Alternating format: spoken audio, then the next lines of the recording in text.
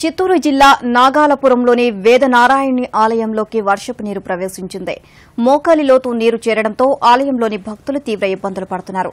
ఆలయంలో చేరిన నీటిని బయటకు తోడేసేందుకు ఆలయ అధికారులు ప్రయత్నాలు చేస్తున్నారు.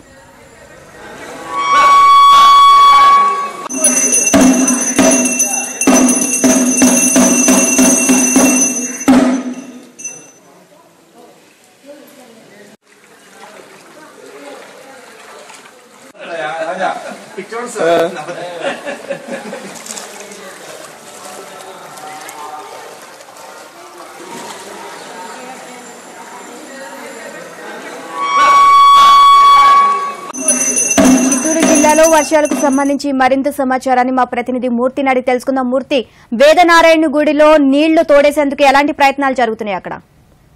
నిన్న చిత్తూరు జిల్లాలో గడిచిన నెల ఏడో తారీఖు కురుస్తున్న భారీ వర్షాలకు తోడు ఈ రోజు గత రెండు రోజులకు కూర్చున్నటువంటి ఆ, ప్రభావంతో వరద ఉధృతి ఎక్కువ కావడంతో నాగలాపురంలో ఉన్నటువంటి వేదనారాయణ స్వామి ఆలయంలోకి భారీగా వరద చేరింది. ఈ క్రమంలోనే మోటార్ల సాయంతో వరద నీటిని బయటకు తోడే ప్రయత్నం చేస్తున్నారు. గడిచిన కొద్దేళ్ళలో ఎప్పుడు కూడా ఇలాంటి పరిస్థితి రాలేకపోవడం ప్రధానంగా నాగలాపురం టెంపుల్లోకి వరద చేరుకోవడం పట్ల భయాందోళనలు భక్తులు ఆగ్రహం చేస్తున్న పరిస్థితి కనిపిస్తుంది. ప్రధానంగా ఈ చిత్తూరు జిల్లా వ్యాప్తంగా కేవీబీపురం శ్రీకాళహస్తి తొట్టంబేడు ఇటు ఉన్నటువంటి సచ్చివేడు వరదాయపాలెం మండలాల్లో భారీగా వరద చేరింది ఇప్పటికే ముంపు ప్రాంతాల్లో పడి ప్రజలు తీవ్ర ఇబ్బందులు ఎదుర్కొంటున్నారు.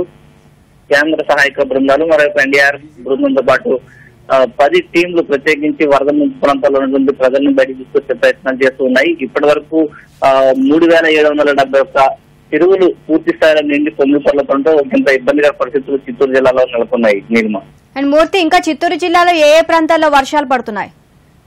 ప్రధానంగా చిత్తూరు జిల్లాలో తూర్పు మండలాల్లో ఈ వరద ఉధృతి ఎక్కువగా ఉంది. ఈ క్రమంలోనే ప్రధానంగా ఈ సత్యవేడు శ్రీకాళహస్తి కొట్టంబేడు బుచ్చినాయుడు కండ్రిగా మండలాల్లో ఎక్కువగా వరద ఉధృతుంది కేబీపురంలో వరద ఉధృతి ఎక్కువగా ఉండడంతో కాలంగి రిజర్వాయర్ కింద ఉన్నటువంటి లోతట్టు ప్రాంతాలు పది గ్రామాలకు రాకపోకలు నిలిచిపోయి శ్రీకాళహస్తి మండలంలో కమ్మ సముద్రం చెరువు తెగిపోవడంతో కింద ఇబ్బందికర పరిస్థితులు ఏర్పడ్డాయి. ఎనిమిది గ్రామాలు రాకపోకలు అంతరాయం ఏర్పడటంతో కింద ఇబ్బందికర పరిస్థితులు ఈ నేపథ్యంలోనే సహాయక బృందాలు రెవెన్యూ యంత్రాంగం ఓవైపు పెద్ద ఎత్తున ఉధృతం చేసినప్పటికీ కూడా వరద మరో రెండు రోజుల పాటు కొనసాగే అవకాశం ఉండడంతో ఇంత ఇబ్బందికర పరిస్థితులు ఏర్పడుతున్నాయి. నీలమ.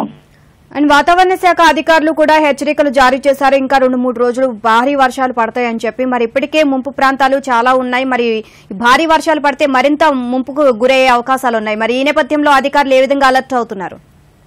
ప్రధానంగా ఇప్పటికే మరో రెండు రోజుల పాటు ఓ వరద వర్షాలు పడే అవకాశం ఉన్నాయని చెప్పి వాతావరణ శాఖ హెచ్చరికల నేపథ్యంలో చిత్తూరు జిల్లాలో తూర్పు మండలాల్లో ప్రధానంగా ఆ రైతులు గుండెల్లో గుబులు గుర్తిస్తోంది ప్రధానంగా ఇప్పటికే చూసినటువంటి వచ్చినటువంటి చిత్తూరు జిల్లాలో తూర్పు మండలాల్లో ఉన్నటువంటి పంటలన్నీ కూడా పూర్తిగా వరద ముంపు ప్రాంతాలకు గురయ్యాయి. ఈ క్రమంలోనే కొన్ని చెరువులు ఇప్పటికే ఇప్పటి వరకు డెబ్బై ఏడు చెరువులు కట్టలు తెంచుకుని తెగిపోవడంతో ముంపు ప్రాంతాలు లోతట్టు ప్రాంతాల్లో ఉన్నటువంటి చెరువులన్నీ కూడా మునిగిపోవడం జరిగింది. మరో రెండు రోజుల పాటు వర్షాలు పడతాయన్న సమాచారం రెవెన్యూ యంత్రాంగం పూర్తి స్థాయిలో అప్రమైంది ఇప్పటికే పునరావాస కేంద్రాల్లో ఉన్నటువంటి బాధిత వరద బాధితులందరికీ కూడా సహాయ కార్యక్రమాలు ముమ్మరం చేస్తున్నారు. మరిన్ని ఆ, లోతట్టు ప్రాంతాలు ఉన్న నేపథ్యంలో వారందరినీ కూడా పునరావాస కేంద్రాలు తరలించి వారికి సహాయ కార్యక్రమాలు చేసే దిశగా రెవెన్యూ యంత్రాంగం అప్రమత్తమైంది. ఓకే మూర్తి.